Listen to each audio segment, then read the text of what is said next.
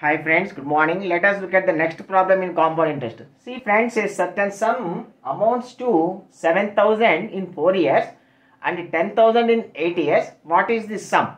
See friends, compound interest amount to, we know the formula. P into 1 plus R by 100 whole power n is equal to amount. So P into 1 plus R by 100 whole power 4 is equal to 7000. 1 plus R by 100 whole power 8 is equal to 10,000. Say this is equation 1, this is equation 2. Now let us do 1 by 2. 1 by 2 implies 1 by 2 implies PP gets cancelled.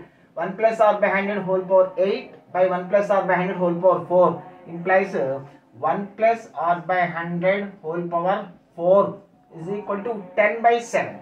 10 by 7. Now let us substitute this value in equation 2 to get the value of uh, P. P into what is equation 2? P into 1 plus R by 100 whole power 4. 10 by 7. 10 by 7 is equal to 7000.